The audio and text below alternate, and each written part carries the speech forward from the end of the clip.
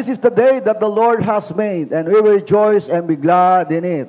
So sa lahat po ng tumatangkilik at sumusubaybay sa SCB live streamings na ito, SCB Tribes, at higit sa lahat sa ating spiritual mentor, Pastor Wilbert, Pastor Hasmin, isang pinagpalang hapon po sa inyong lahat.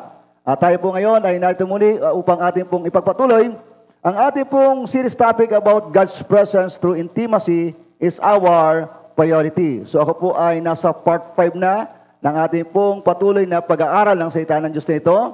But bago po tayo magpatuloy dito sa ating pong part 5, nais ko po tayong dumako sa isang maikli pong uh, pagbabalik tanaw sa mga salita ng Diyos na ating pong uh, napag-aralan o napagbulay-bulayan. So God's presence to intimacy is our priority. So ang ating pong pinaka-major uh, passage po nito ay ating pong matatagpuan sa Exodus 33 verse 12 to 19 and Psalms 51 verse 7 to 12. Pero hindi ko na po babasahin. Next one, sabi po dito, how does the presence of God can transform people's lives? Why the presence of God should be our priority to intimacy. So major points number one, perfect environment of man, that is the Garden of Eden. Major point number two, pursue God alone to build intimacy. And then major point number three, possessing the favor of God's presence as our assurance in life's journey. Ito po yung ating pong part 4 na ating pong napagwalibulayan. And the subpoints po nito, possess, possess the favor of God's presence by being passionate with Him and abiding in His presence.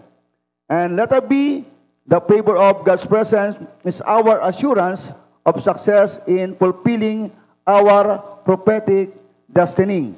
And letter C po, The presence of God is our assurance of success in fulfilling our God-given assignment. And letter D, possessing the presence of God transforms and give us a new nature that makes us a channel of blessing or legacy for the next generation. At dito po tayo ngayon magsisimula sa ating pong uh, part 5 sa major point number 4, Personal encounter with God transforms us to be a carrier of His presence. Ulitin ko po. Personal encounter with God transforms us to be a carrier of His presence. So sabi po dito sa word ng Exodus chapter 33 verse 14 to 16. Basahin ko po sa inyo sa New Century Version and CB. Ang sabi po dito, The Lord answer, I myself will go with you, and I will give you victory. Then Moses said to him, If, you're, if, you're, if you yourself don't go with us, then don't send us away from this place. If you don't go with us, no one will know that you are pleased with me and with your people. So these people and I will be no different from any other people on earth. So dito po ay makita natin ang word na kung saan amen ay binigyan ng Diyos ng assurance si Moses, ano po, upang sila ay maghayag na kakaiba ang kanila pong buhay sa pangunguna po ni Moses sa bansang Israel.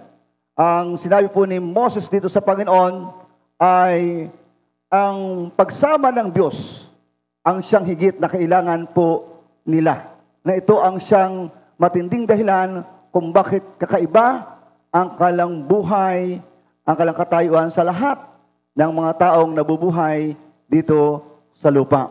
At sa pagsagot ng Panginoon sa panalangin, sa kahilingan ni Moses, na ang Diyos ay kanya pong makasama at ng kanyang bayan ito po ay binigyang positibo ng Diyos ng katugunan kay Moses na sinabi ng Panginoon, Ako ay sasama sa iyo at bibigyan kita ng kapahingahan o katagumpayan.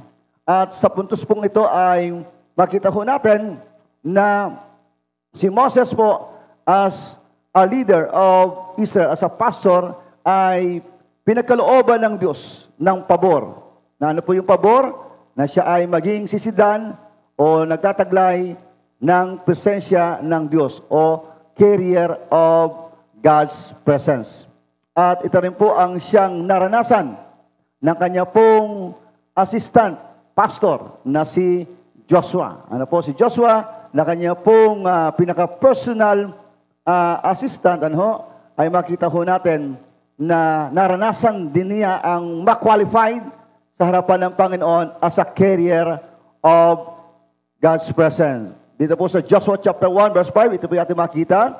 No, no man shall be able to stand before you all the days of your life as I was with Moses. So I will be with you. I will not leave you nor forsake you. So doon po sa sinabi ng Panginoon na pangako kay Joshua, tanda o epekto ng pagsama ng Diyos. Epekto ng pagiging carrier ng presensya ng Panginoon. No man shall be able to stand before you all the days of your life. So makita po natin dito yung espiritual na katotohanan na kapag pala ang Panginoon ay nasa buhay natin o tayo carrier ng presensya ng Panginoon, tayo ay laging nasa panig ng pagtatagumpay. No man shall be able to stand before you all the days of your life. And the first Samuel chapter 16 verse 13, ito naman po ating makikita. Then Samuel took the horn of oil and anointed him in the midst of his brothers, and the Spirit of the Lord came upon David from that day forward. So Samuel arose and went to Ramah. So dito naman po makita natin ang buhay ni David. Nung siya po ay simulang piliin ng Panginoon bilang kapalit ni Haring Saul. At ang tanda po na siya ay pinili ng Panginoon. Siya ang tinakda ng Diyos sa panahon niya na maging kapalit ni King Saul ay pinahiram po siya ng langis ni Propeta Samuel, tanda na siya po ay talagang pinili ng Diyos. At bukod sa pagpapahit po ng langis, ay kasabay po nito ang demonstrasyon ng pagbaba ng Espiritu ng Diyos sa katauhan ni David. Na ang sabi po dito sa ating binasa, na ang Espiritu ng Diyos ay nanahan kay David. Tanda po na si David ay naging carrier po ng presensya ng Diyos. At ano ba ang nangyari? Sa journey ng kanyang buhay, habang siya ay narito sa ganito pong kalidad ng buhay na pinapanahanan ng Espiritu ng Diyos. Sa 2 Samuel chapter 5 verse 9 to 10, ito po yung sabi. And David lived in the stronghold and called it in the city of David. And David built the city all around from the Melo inward. And David became greater and greater, for the Lord, the God of hosts, was with him. Amen? So ito po yung makita natin na malinaw na epekto, ebidensya sa buhay ni Haring David nung siya'y simulan na panahanan o maging carrier ng presensya ng Diyos. Nang sabi po dito ay siya'y naging isang maimpluensya, makapangyarihang hari. Ano po sa panahon niya, napakatindi po nung kanya pong naging uh, impluensya dahil nga po ang Panginoon ay suma sa kanya. Ang sabi po dito, and David became greater and greater, for the Lord the God of hosts was with him. Kaya po, ano po yung makikita po natin ditong patotoo sa mga tao na naging carrier or naging container ng presensya ng Diyos. So lagi pong meron pong visible testimony na kung saan ay magpapahayag na talagang totoo. Ano po ang pagkilos, ang pagsama ng Diyos sa buhay ng kanya pong pinili o tinawag. At dito nga po nagsimula tayo na ating pong tingnan ang katotohanan na kung paano naging carrier ng presensya ng Diyos ang isang tao. Ito po sa magitan nga po ng pagpili ng Panginoon upang tuparin ang kanyang kalooban o yung kanyang layunin sa napapanahong kanyang itinakda sa buhay ni Moses. Nasa, naranasan po niya ang pagsama ng Diyos bilang siya ay carrier ng presensya ng Panginoon sa buhay ni Joshua na siya po rin ay naging qualified na maging carrier ng presensya ng Panginoon kay David na siya po ay naging carrier ng presensya ng Panginoon at marami pa pong ibang mga heroes of faith ano po in the Bible na makikita po natin na sila ay naging carrier ng presensya ng Panginoon o sinamahan ng Panginoon. At sa pagsama po ng Panginoon o pagiging carrier ng presensya ng Diyos ay hindi po pwedeng walang mangyayaring epekto na patotoo na meron pong breakthrough. Ano? na higit doon po sa magagawa ng pinapanahanan ng presensya ng Diyos na hindi niya kaya pero nangyayari sa kanyang katauhan, sa kanyang buhay because of the power of God's presence. So tingnan po natin, ano po, ito pong intentions po ng Lord na tayo ba talaga, ano po, ay kalooban ng Panginoon na maging carrier ng presensya niya. So personal encounter with God transforms us to be a carrier of His presence Letter A po, God's in, original intention is creating man according to his image and likeness so they could carry and radiate the glory of God on earth. So, ang original daw po na intention o kagustuhan ng Diyos sa paglikha niya sa tao ayon sa kanyang imahe at larawan ay upang ang mga taong ito na kanyang nilikha according to His image and likeness ay maging carrier po ng presensya ng Diyos. Magliwanag, magningning, maglingas ang kalwalatian ng Panginoon sa kalambuhay dito sa lupa. So ito po ay makita ho natin doon sa original plan ng Panginoon kung bakit po ano ang tao rin ay kanyang nilikha according to His image and likeness. So they are the carrier of His presence or, or glory dito po sa lupa. So ito po yung makita ho natin dito sa Genesis 1.26, ito po sabi, Then God said, Let us make man in our image, in our likeness, and let them rule over the peace of the sea, the birds of the air, over the livestock, over all the earth, and over all creature that moves along the ground. So makita ho natin dito, yung pong pinagmulan po ng tao. Walang iba po yung ating Diyos, ano ho, na lumikha sa tao, ay kung saan siya yung pong, ano ho, nagbigay sa tao ng, ng buhay, na ang buhay na ito ay nagtataglay ng kanyang presensya o ng kanyang kaluwalhatian. In the spiritual realm, sa isipa po ng Diyos, sa paglikha pa lang sa tao, makita ko natin dito na maliwanag, ano po sa Panginoon ang kanyang plano ang kanyang layunin sa buhay ng tao sa kanyang pamuhay dito sa lupa na ang mga taong ito ang siyang magtataglay, magdadala ano, ng kanyang presensya o kalwalhatian dito sa lupa. So sa ating pong nakaraan, ano na pag-aaral, Adam and Eve, nung ilagay ng Diyos sa Garden of Eden bilang perfect and natural environment ng tao, ang tao pinabubuhay na taglay-taglay ang presensya ng Diyos.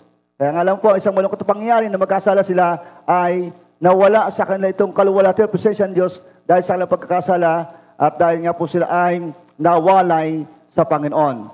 But makita ho natin, consistent si Lord, ano po sa kanya pong plano na ang taong kanyang nilikha according to His image and likeness ay ito po ang magtataglay ng kanya pong presensya o kaluwalhatian dito sa lupa. At sa ating pong Panginoon Jesus, sa kanya pong prayer, ano po, sa John chapter 17, verse 20 to 23, makikita po natin itong, ito pong content dito na prayer, na kung saan dinadala niya po tayo o ang tao, mananampalataya, na talagang gumalaw, kumilos as a carrier of God's presence or God's glory. So dito po, sabi dito, sa John 17, verse 20 to 23, I do not pray for this alone, but also for those who will believe in me through their word, that they all may be one as you, Father, are in me, and I in you, that they also may be one in us. That the world may believe that you sent me. And the glory which you gave me, I have given them. Ang sabi po ng Panginoon, ang kaluwalhatiang ibinigay mo sa akin, Ama, ay ibinibigay ko sa kanila. So, ibinibigay po ito sa kanyang disciple, ibinibigay sa kanyang mga anak, binibigay niya sa atin. Ang sabi po, And the glory which you give me, I have given them that may be one just as we are one. Amen? So, salamat po sa Panginoon. Sa pribilehiyong ito na kung ano ang kalwalatian na, na, na meron siya ay kanya po raw pinagkaloob sa atin upang tayo ay maging kaisa ng Diyos. Praise God. Then aside po ng Colossians chapter 1, 27, sa New, Transla- New Living Translation, Colossians 1.27, For God wanted them to know that the riches and glory of Christ are for you Gentiles too, and this is the secret. Christ lives in you. This gives you assurance of sharing His glory. Christ lives in you. This gives you assurance of sharing His glory. Kaya po, from the original intentions po ng Lord, sa paglikha po niya sa tao, ayon sa kanyang lawat imahe, ay nakita ho natin na tayong tao, tayong mga mananampataya, ay siyang pinagkalooban ng Panginoon na maging vessel, maging, maging carrier ng presensya ng Panginoon. At ang pagliliwanag ng presensya at kalwaltian ng Panginoon ito ay as long as na tayo ay lumalakad ayon sa kanyang salita. Ano po? Ayon sa kanyang kalooban. Sapagkat alam po natin na ang gusto ng Panginoon na sa kanyang original na plano, ang tao ang siyang maging isang pangunahin na talagang nagpapahayag ng presensya ng kaluwalhatian ng Diyos dito sa lupa. At ang nais ng Panginoon na uri ng mga tao na dadami, ano po, mga ngalat sa mundo ay walang iba kundi ang mga taong nagtataglay ng kanyang kaluwalhatian. Kaya naman, ano po, sa, makita natin sa ibang pagpapahayag ng Panginoon sa, kanyang, sa ibang niyang propeta na sinasabi na ang mundo ay mapupuno ano po, ng kanyang kaluwalhatian. But praise God, ano, ang pagpapahayag at ang kapunuan ng kaluwalhatian, presensya ng Diyos dito sa mundong ito na ating ginagalawan ay walang ibang ginagamit, ano po, walang ibang naging asset ano, sa katuparan nito, kundi ikaw at ako na kanyang anak o kanyang church. Praise God. So, nakita ho natin dito, ano po, ang unang dahilan, ano, kung bakit tayo ay magiging carrier ng kanyang presensya. Binago tayo sa ating pong pakipagtakbo sa Diyos upang maging carrier ng kanyang presensya. Dahil ito ay original intentions ng Lord sa paglikhaan niya sa atin. Ano po? Na tayo maging carrier at mag-graduate ang glory niya dito sa lupa. Next, letter B po, God's favor, God's favor and blessing to His people was prominently proven when He made them carriers of His presence. God's favor and blessing to His people was prominently proven when He made them carriers of His presence. So, kung tayo po ay hihingi sa Panginoon ng pabor o ng pagpapala, ano po, masigit na atin na pong pakanasain, masigit nating ating pong hingin sa Panginoon ay walang iba kundi yung pagsama ng kanyang presensya bilang tayo po ay magsilbing carrier ng kanyang presensya. Dahil po ang sabi po dito, ang pabor at pagpapala ng Diyos sa kanyang bayan o sa kanyang manak ay walang iba kundi ito po yung pinakapangunahin na katunayan na talagang tayo ay nasa pabor, nasa pagpapala ng Panginoon, walang iba kundi tayo po'y ginawa ng Panginoon as a carrier of His presence. Ito po yung sinabi ng Numbers chapter 6 verse 22 to 27. Ang sabi po dito, And the Lord spoke to Moses saying, Speak to Aaron and his son, saying, Thus you shall bless the people of Israel. You shall say to them, The Lord bless you and keep you. The Lord makes his face to shine upon you. The Lord make his face shine upon you and be gracious to you. The Lord fill up his countenance upon you and give you peace. So shall they put my name upon the people of Israel and I will bless them. So ito po yung malinaw na instruction ng Panginoon kay Moses na sinabihan ng Panginoon si Moses na ito ang sabihin mo kay Aaron at sa kanyang mga anak at sa bansang Israel na ang pagpapala ng Panginoon ay kanila pong maranasan na walang iba kundi ang pagpapala ng Panginoon, sabi ito, ay ang mukha ng Panginoon ay magliwanag sa kanila. Ano pong ibig sabihin ito? Tanda na sila po ay ginawa ng Panginoon na carrier ng kanyang kalwalhatian o ng kanyang presensya. Ang sabi po, ganito mo pagpapalain ang aking bayan. The Lord bless you and keep you. The Lord make His face to shine upon you. So ito po yung isa hong napaka taas na kalidad ano, ng pagpapala o ng favor ng Panginoon.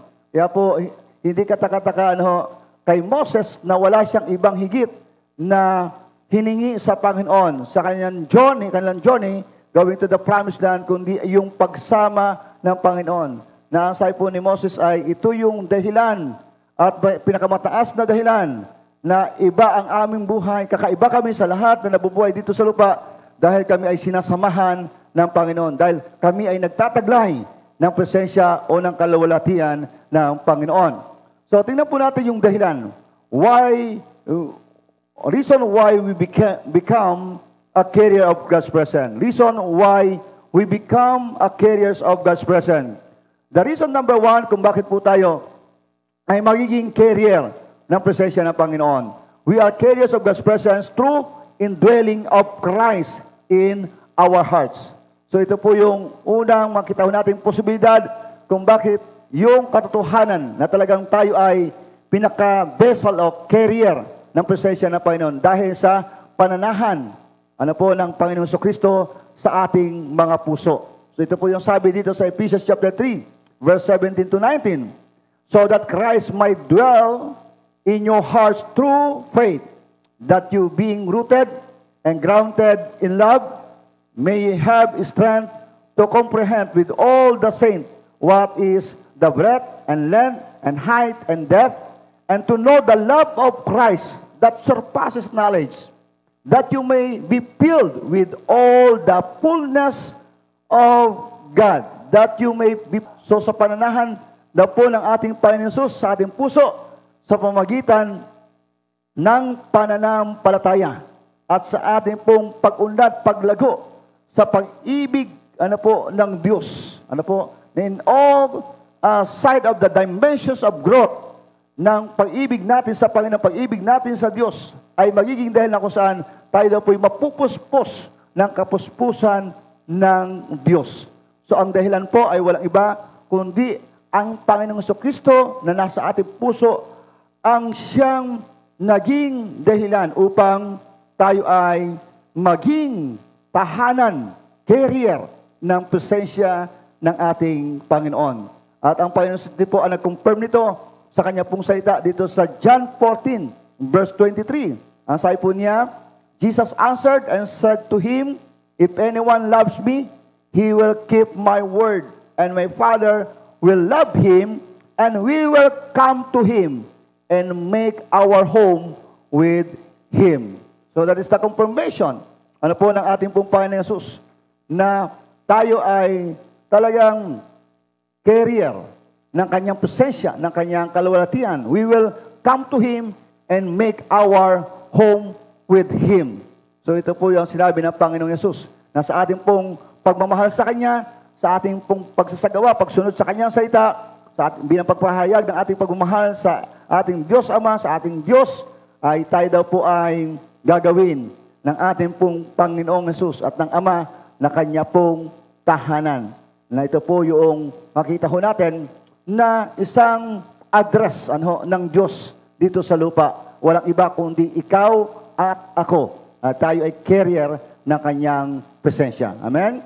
So, bakit po sinabi ng Panginoon Jesus, ng ating Panginoon Jesus, ano, na sa ating pong pag uh, pananampalataya sa Kanya, sa pananahan niya sa ating puso, ay talagang tiyak na tayo magiging magiging uh, carrier ng presensya ng Diyos.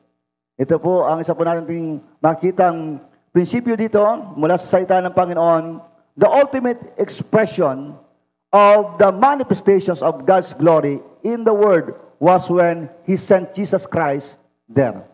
Ano po? The ultimate expression of the manifestations of God's glory in the Word was when He sent Jes- Jesus Christ there. So nung sinugo po ng Ama ang ating Panginoon dito sa lupa, ito po ang pinaka-ultimate, siya po yung pinaka-ultimate manifestations of God's glory.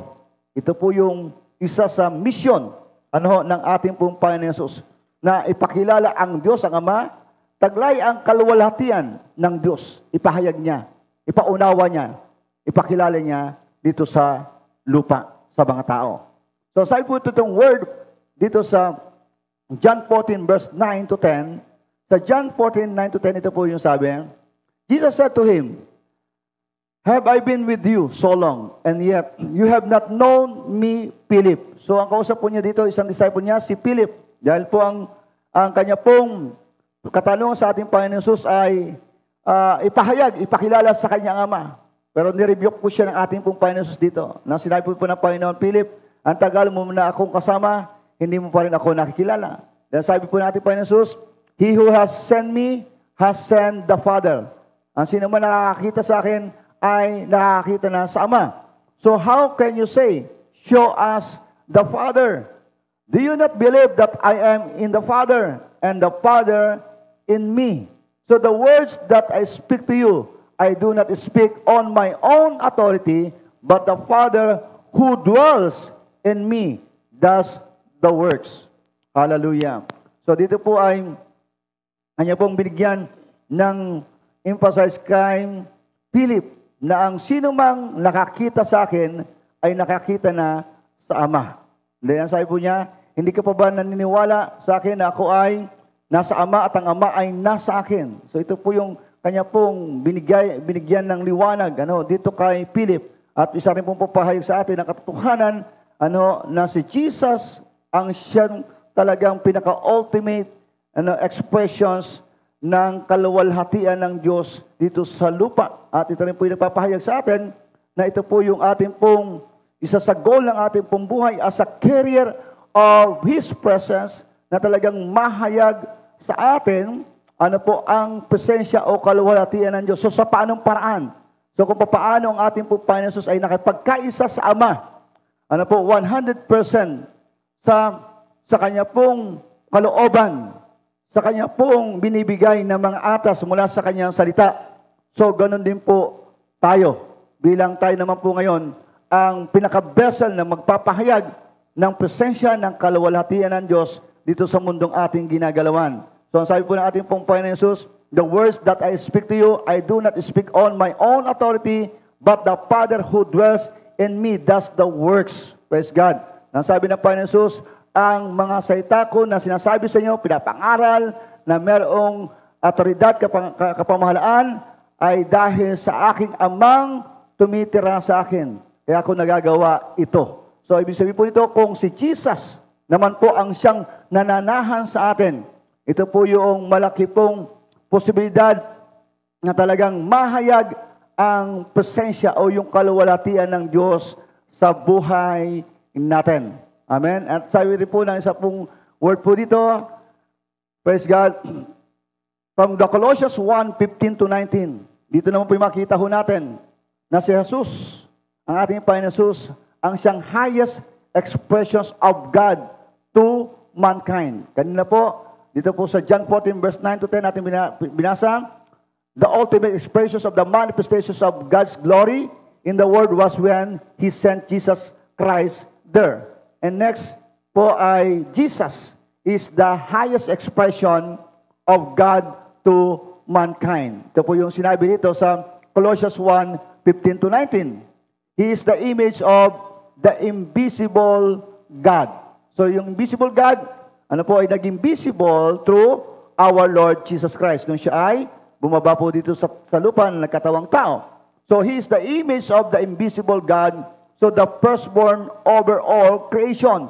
For by him all things were created that are in heaven and that are on earth, visible and invisible, whether thrones or dominions or principalities or powers.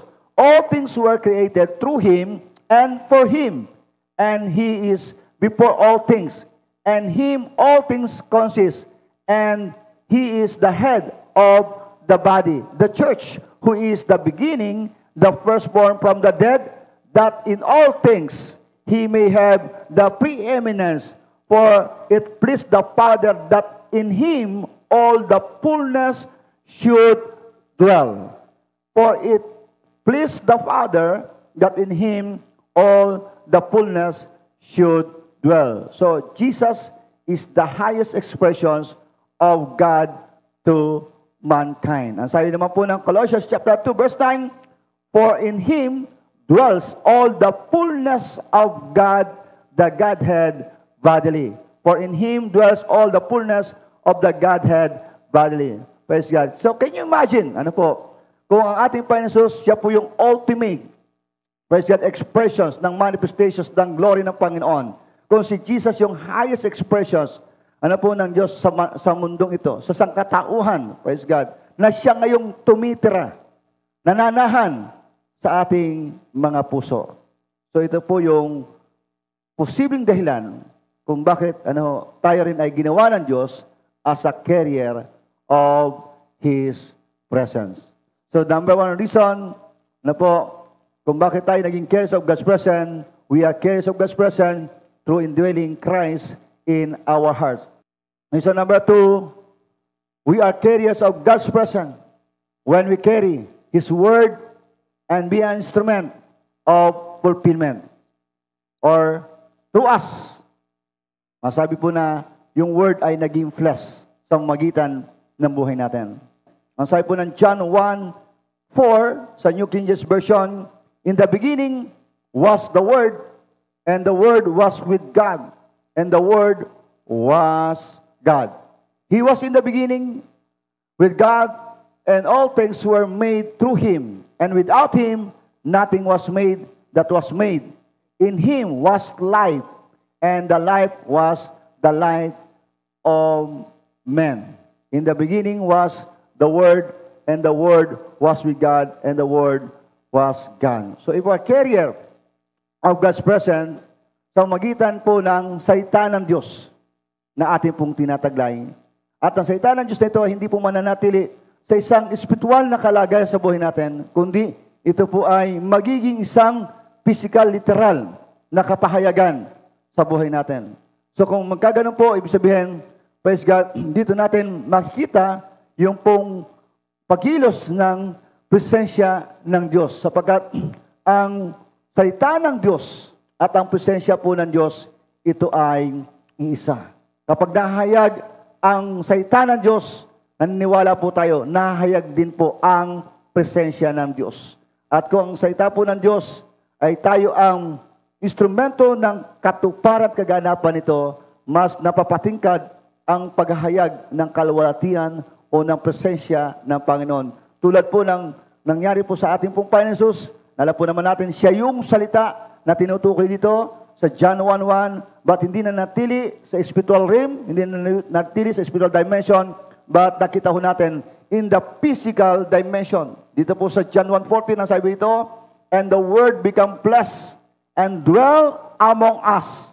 We beheld His glory in the glory as the only begotten of the Father, full of grace and full of truth. Amen. And the Word become flesh and dwells among us, and we beheld His glory. Praise God. So the Word of God at yung presensya ng Panginoon makita ho natin.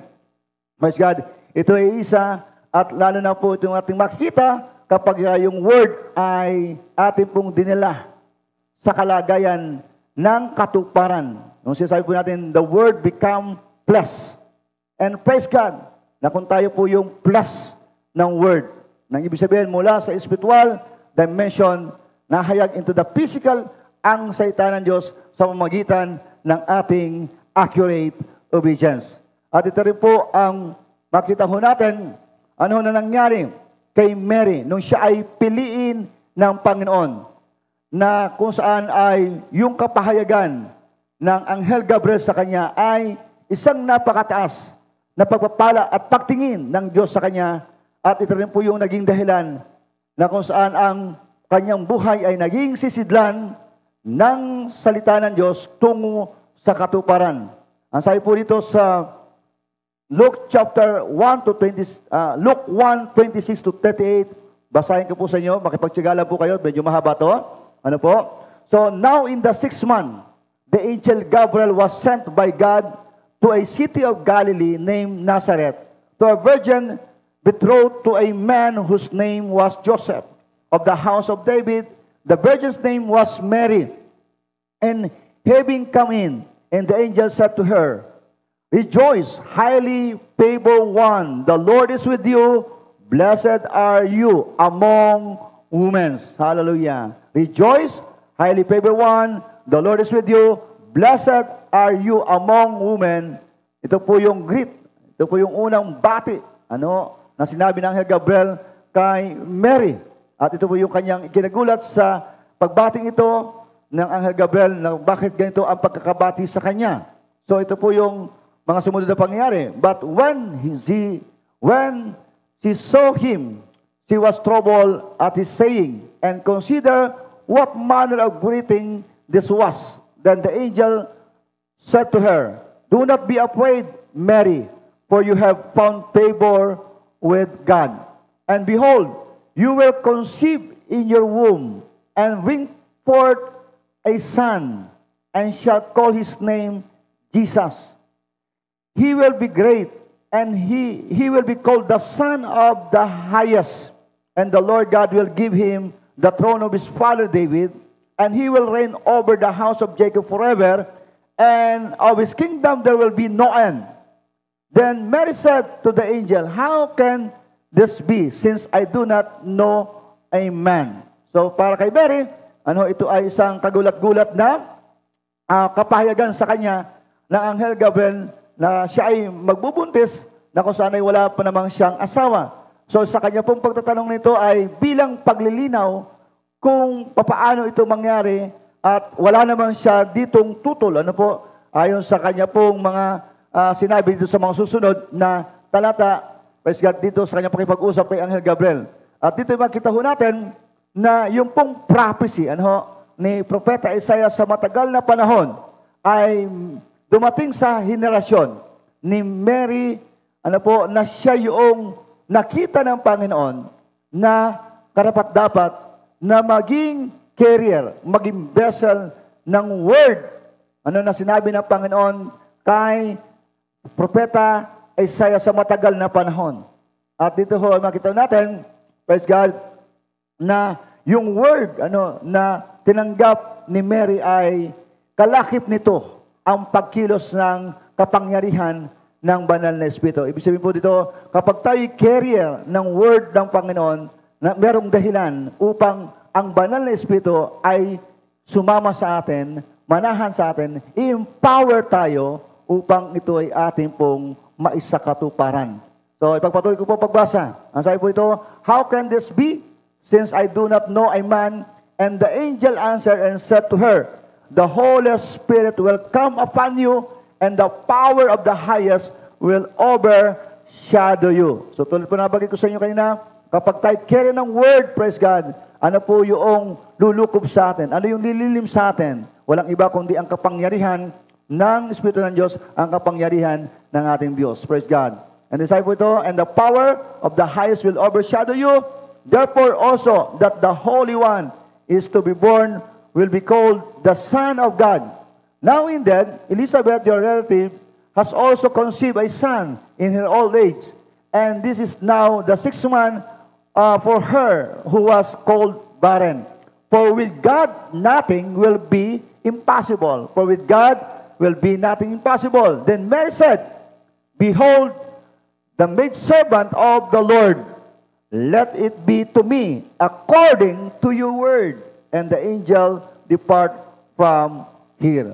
So sabi po ni Mary, na kanya pong naging conclusion, naging strong decision after na kanya pong ma-receive ang revelation ni Angel Gabriel patungkol sa pangyayari sa kanya bilang siya napili ng Diyos as a carrier, as a chosen, ano po ng Panginoon, sa fulfillment ng word na ito, ng prophecy na isa sa kapanganakan ng ating Panginoon Isa po ang nagpatibay, ano, na talagang siya naging carrier ng presensya ng Diyos. Let it be to me according to your word. So wala pong pagdududa, walang pag-alinlangan na kanya pong binigyan ano po, ng tapang na pagpapahayag sa anghel ng, ng Panginoon na si Anghel Gabriel, mangyari sa akin ang lahat ng iyong mga sinabi. So kung meron tayo pong laging ganitong pagtugon, ano ho, sa salita ng Diyos, praise God, you are qualified to be a carrier of His presence. Hallelujah. Ang sabi po ng word din po dito sa 1 Samuel chapter 3, verse 21. 1 Samuel chapter 3, verse 21, Then the Lord appeared again in Shiloh, for the Lord revealed himself to Samuel in Shiloh by the word of the Lord. For the Lord revealed himself to Samuel in Shiloh by the word of the Lord. So dito po yung encounter, inconsistent basis. Ano, habang lumalaki si Samuel, naranasan po niya ang pakikipagtagpo ng Diyos sa buhay niya, ang presensya ng Panginoon sa pamagitan ng salita ng Diyos. So, lumalago, tumataas ang kanyang pagkakilala sa Diyos sa magitan ng kanya pong pakikipagtagpo sa Diyos sa magitan ng salita ng Diyos. Nang ibig sabihin po nito, to the Word of God, ano po, ito'y magdadala sa atin na tayo katagpuin ng ating pong Panginoon.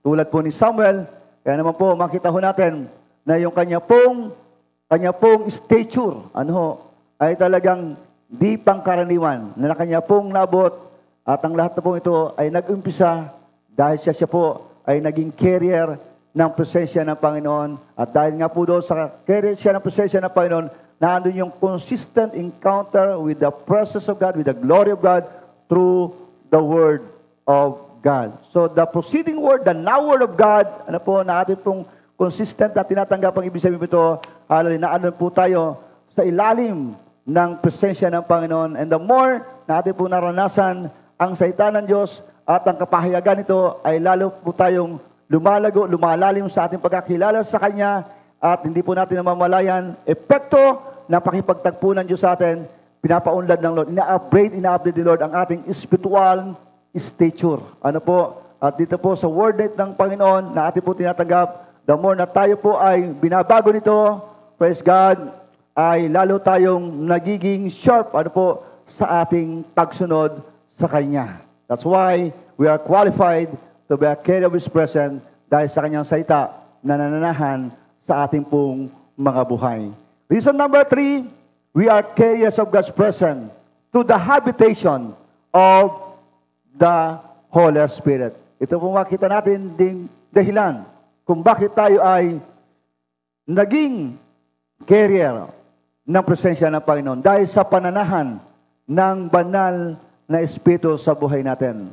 So hindi natin hinayaan na ang patungkol sa banal na Espiritu ay isang katuruan lang ano, sa buhay natin.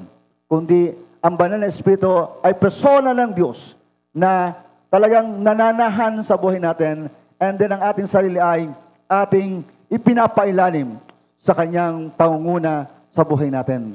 Ang sabi po ng John 14, verse 16 to 17, And I will pray the Father, and He will give you another helper, that He may abide with you forever.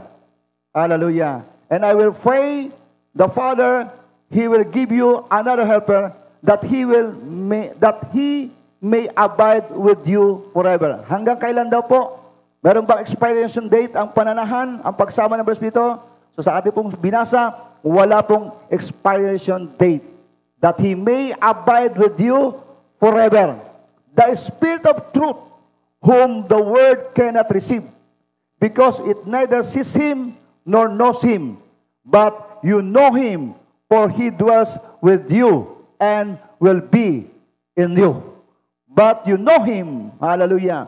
So sa pananahan, ng banal na Espiritu po sa buhay natin, doon po natin siya lubos na makikilala. At siya'y magpapakilala sa atin.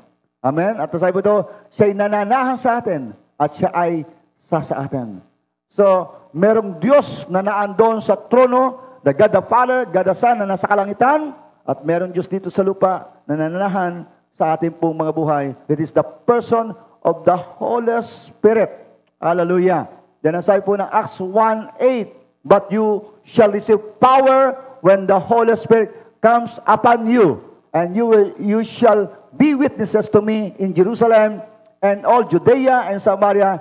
Praise God. And that's sabi din po ng 1 Corinthians chapter 6 verse 19 20, or do you not know that your body is the temple of the Holy Spirit who is in you? So hindi lamang po sa ating puso, hindi lamang sa ating espiritu, ano po, mahayag ang pananahan pagsama ng banal na espiritu, kundi ang sabi po dito, ang katawang ito ay templo ng banal na espiritu. That's why, praise God, ang kalwalhatian, ang presensya ng kalangitan ay merong dahilan kung bakit merong tatawag ng pansin, makaka-attract.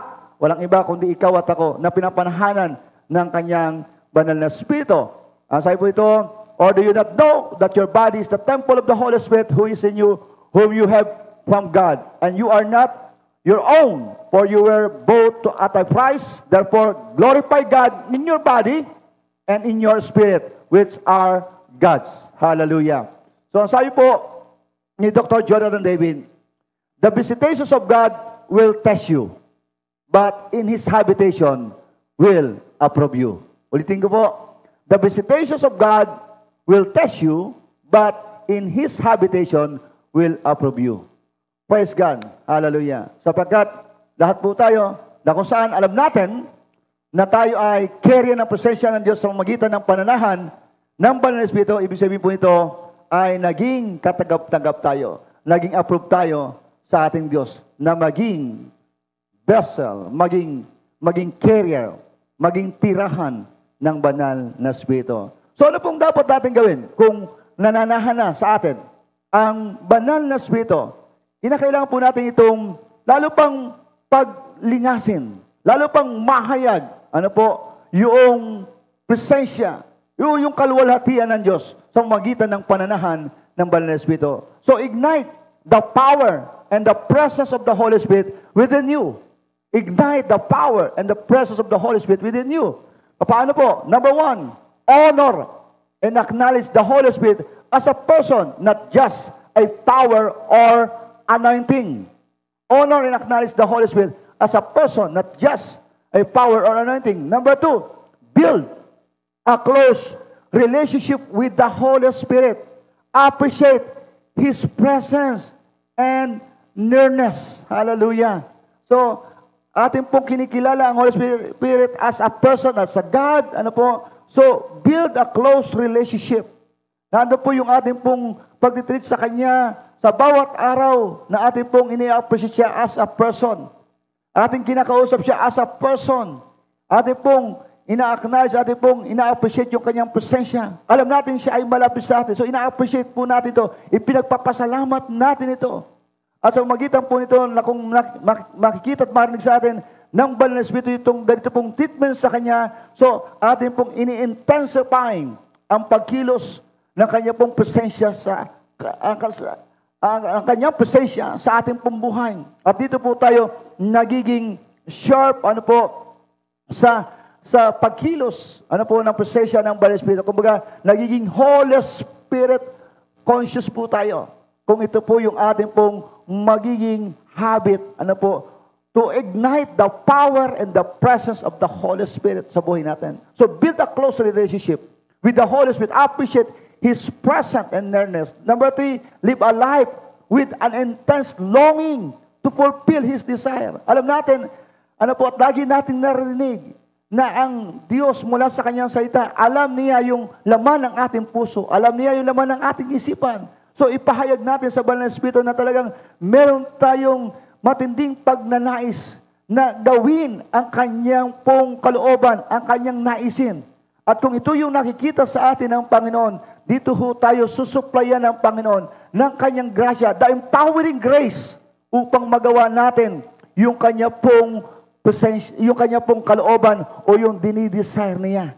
Na tayo po ay maging instrumento ng katuparan ng desire o ng kalooban ng Diyos dito po sa lupa. At kung ito makikita sa atin, ng Banal na Espiritu, praise God, ang kanya pong pagsama, ang kanya pong presensya ay lalong magiging matingkad ano po, sa buhay natin. And number four, learn to yield in the inner working of the Holy Spirit. Lalo na sa mga matatagal na sa pananampalataya sa atin sa Panginoon mga kapatid. Alam po natin na atin po itong naranas at nararamdaman na merong laging pagkilos, paggalaw ang banal na Espiritu sa ating kalooban, sa ating Espiritu. Na ang kinakailangan lamang po nating response ay tayo ay mag-submit sa Kanya. Ang kinakailangan nating response ay yung uh, nung, uh, yung, yung instructions niya na kanya pong binibigay sa atin ay mabigay po natin yung pong accurate or explicit obedience.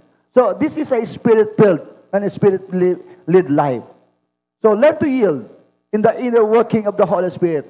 This is a spirit-filled and a spirit-led life. Number five, how to ignite the power and the presence of the Holy Spirit within you.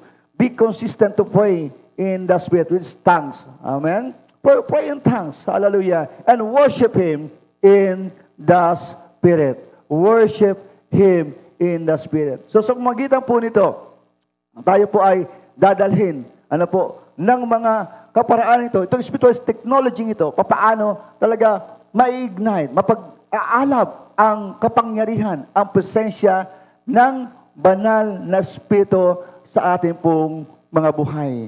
So, reason number four kung bakit tayo maging carrier ng presensya ng Panginoon. So we will be a carrier of God's presence when we are carrier of His name for the manifestation of His nature, purpose, and power here on earth.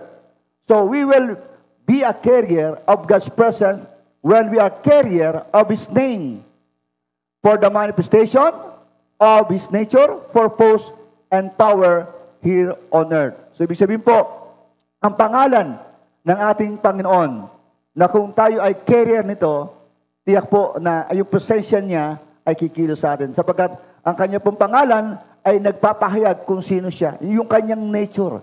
Ang kanyang pangalan nagpapahayag ng kanyang purpose, ng kanyang kapangyarihan dito sa lupa. So sabi po dito, the name of God represent every attributes of the Godhead. The name of God represent every attributes of the Godhead. So, ang pangalan po ng Panginoon, ang siya pong na, nagre-represent ng lahat daw po ng katangian ng ating pong Panginoong Diyos. Praise God. Na ang Diyos natin makapangyarihan sa lahat, mga sa lahat ng dako, siya ay nakakalam ng lahat, ang ating Diyos ay banal, ang ating Diyos ay matuwid. Kumbaga po, ang katulad po nito, ang pangalan ng ating Panginoon Diyos ay patulad, katulad ng isang kapsula na nagtataglay ng iba't ibang ingredients na maka, makakadil ng, ng sakit ng tao. Ang katulad po nito ay yung nauso ngayon na, uh, na mga herbal supplement na may tinatawag pong 23 in 1, 15 in 1. So same logic po. Ano po ang sinasabi ito? The name of God represent every attributes of the Godhead. Nasa pangalan po ng Panginoon Jesus, ang, ang, ang lahat ng hinahanap natin na katangian, ano po, kalikasan, hallelujah, layunit, kapangyarihan ng Diyos dito sa lupa. So sabi po ito sa Isaiah 7.14, Isaiah 7.14, Therefore the Lord Himself will give you a sign. Behold, the virgin shall conceive and bear a son, and shall call his name Emmanuel. Amen? And sabi po ng Matthew 1, 21 to 23, And she will bring forth a son, and you shall call his name Jesus, for he will save his people from their sin. So all this was done that it might be fulfilled, which was spoken by the Lord through the prophet, saying, Behold, the virgin shall be with child, and verse son. So they shall call his name Emmanuel, which is translated, God with us. God with us. Amen? At ang sinabi po ng Isaiah chapter 9, verse 6 to 7, For us, for unto us a child is born, unto us a son is given, and the government will be upon his shoulder, and his name, and his name will be called Wonderful, Counselor, Mighty God, Everlasting Father, Prince of Peace, of the increase of his government and peace, there will be no end.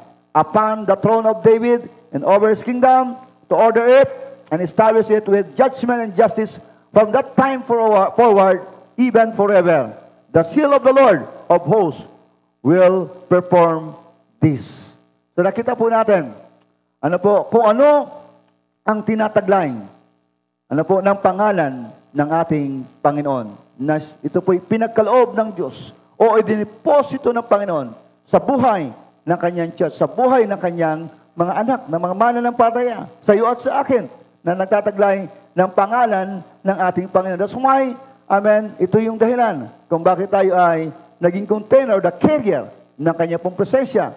At ang pangalan ito, ano po, alam po natin na hindi lamang dito sa lupa ang kapangyarihan, kinikilala ang karangal nito, kundi ano po, sa kalangitan. Ito po yung sabi ni Paul sa revelasyon ng Diyos sa kanya sa Philippians chapter 2, verse 8 to 11, And being found in appearance as a man, he humbled himself and became obedient to the point of death, even the death of the cross. Therefore, God also has highly exalted him and given him the name which is above every name, that at the name of Jesus every knee should bow, and of those in heaven, and of those on earth, and of those under the earth, that every tongue should confess that Jesus Christ is Lord to the glory of God the Father. Hallelujah. So ang pangalan po ng ating Panginoon na sinabi po dito sa Philippians chapter 2 verse 8 to 11 ang siyang pinaka makapangyarihan, pinakamataas na pangalan na itinaas ng Diyos. Amen. Hindi lamang dito sa lupa kundi sa kalangitan.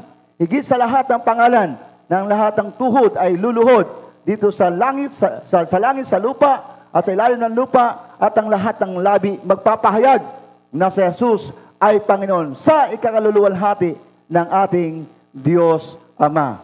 Praise God. Can you imagine kung ano yung pangalan ng Diyos na daladala po natin? Can you imagine kung ano yung pangalan na dineposito ng Diyos sa kanyang church na kung saan ang langit ay magre-response sa pangalang ito? The name is Jesus. So we, we will be a carrier of God's presence when we are carrier of His name for the manifestations of His nature, purpose, and power here on earth. Hallelujah. Praise God. So maraming salamat po sa inyo sa pakikinig, sa pag uh, upo po sa uh, pagtanggap ng mensahe ng saitang ito ng Diyos about God's presence to intimacy is our priority. Ito po yung ating pong part 5. So dahil po tayo ay uh, nasa takdang oras na, ano po ng ating pong pagtatapos, ito po ay ating pong ipagpapatuloy. At dalangin ko po na ito ay naging pagpapala sa bawat isa, naging kalakasan ng ating pong buhay espiritual, pananampalataya, at paglilingkod sa Panginoon abang asaitang ito na ating pong samasabang na pag-aralan at napagbulay-bulayan sa hapong ito. So maraming salamat po and God bless us all. Amen.